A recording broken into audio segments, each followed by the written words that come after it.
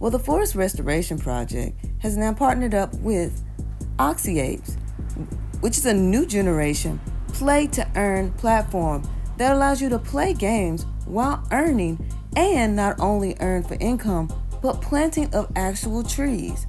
We're doing this in various places in Central America. Check in and play with us. Join our Discord. Check out our website